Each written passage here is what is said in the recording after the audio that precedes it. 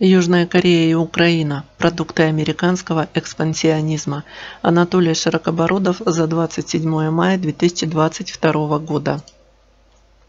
Известно, что уровень пропагандистского накала и фейков о Северной Корее давно перешагнул пределы здравого смысла.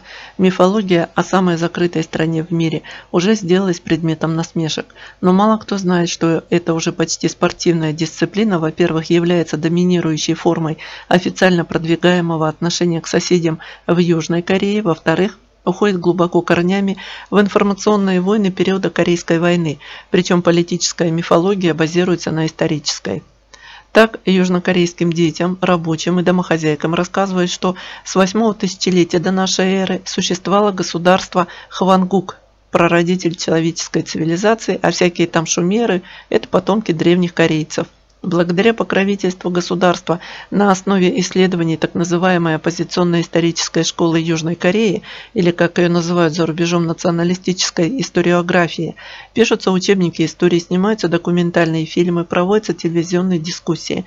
Южнокорейские арийцы считают северян неполноценными, дикими, варварами, куда в большей степени – чем это продвигается западными СМИ. Например, большой популярностью пользуются исследования о том, что южане в среднем на 10 сантиметров выше северян. У них белее кожа, гуще волосы, красивее женщины, сильнее мужчины и так далее.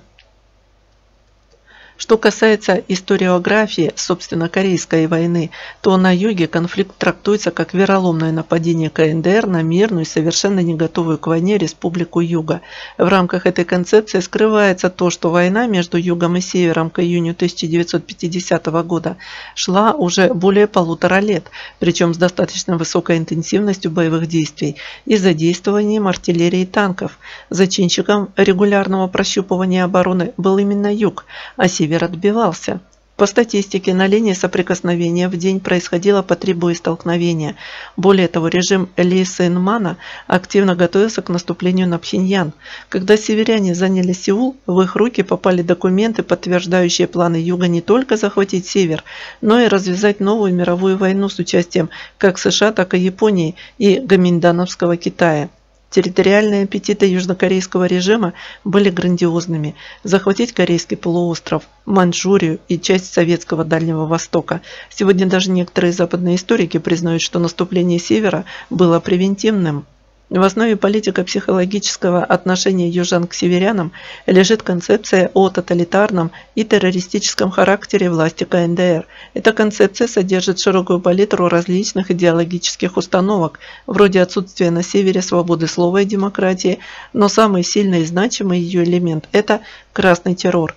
Важное событие красного террора севера, э, северян, которое пропагандируют на юге со школьной скамьи, это резня в Теджоне – в этом городе было обнаружено массовое захоронение гражданских лиц, около 7 тысяч человек. Связанные и расстрелянные люди лежали в огромных братских могилах со следами чудовищных пыток. Вплоть до начала нулевых годов южнокорейские власти обвиняли в расправе над населением чучхейских коммунистов. Однако, когда к власти в Южной Корее пришел леволиберальный президент Но Му Хён, под давлением общественности была создана специальная комиссия для нового расследования этих злодеяний. Комиссия не стала обвинять власти Юга или США в преступлении и установила лишь то, что людей пытали и расстреливали южнокорейские добровольческие батальоны, политизированные полукриминальные банды, которых режим пестовал как патриотов и использовал для устрашения и расправы с нелояльным населением и коммунистическими активистами. Создатели этих батальонов учились в фашистской Германии и не скрывали, что строили свои организации по подобию штурмовых отрядов НСДАП. Во время Корейской войны эти батальоны активно привлекались для зачистки территорий, то есть занимались террором в отношении мирного населения. В Южной Корее была создана не только своя история, свои азовы, но и свое христианство. Так, под покровительством ЦРУ Южной Кореи возникла новая церковь во главе с Мун Сон Мёнёном, который объявил себя мессией и вторым пришествием Христа на земле. Она быстро стала могущественной корпорацией с миллиардными активами, в основном на медиарынке, как в самой Южной Корее, так и за рубежом и используется как разведывательная сеть обеих ЦРУ. В России эта церковь признана деструктивной тоталитарной сектой, и подобных созданных под покровительством властей сект в Южной Корее несколько.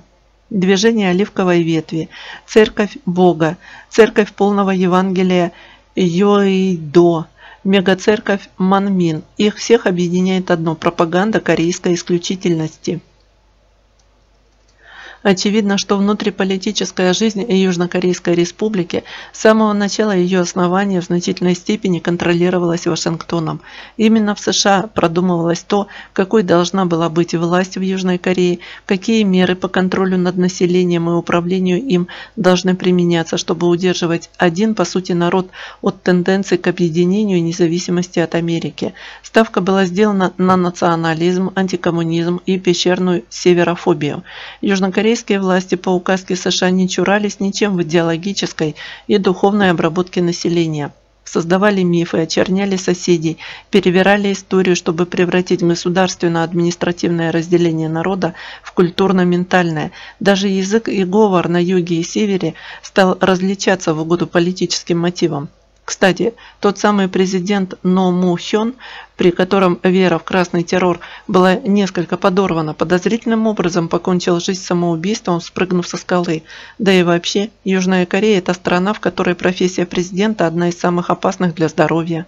Шаг влево, шаг вправо от генеральной линии патронов, и тебя или убьют, или свергнут, или посадят в тюрьму. Таким образом, то, что мы наблюдаем на Украине, те широкие социальные эксперименты над украинским народом, которые превратили страну в опорный пункт американского империализма, были успешно обкатаны на Корейском полуострове задолго до незалежности. Параллели между политическим вектором властей Южной Кореи и Украины, стран абсолютно разных, находящихся в разных уголках планеты и с различной исторической судьбой, наглядно показывают их искусственность, то, что они навязаны извне одним и тем же субъектом – Соединенными Штатами. В литературе принято высмеивать неуклюжесть, топорность и неадекватность американской внешней политики и попыток США влиять на общественное мнение в других странах. Однако следует признать, что американцы – настоящие мастера по оболваниванию народов. Они умеют играть на националистических чувствах, как истинные последователи гибельсовщины. Не зря теория пиара чисто американского происхождения по своим методам и принципам мало чем отличается от подходов гитлеровского министра министра пропаганды. Южная Корея и Украина – продукты американского экспансионизма. Анатолий Широкобородов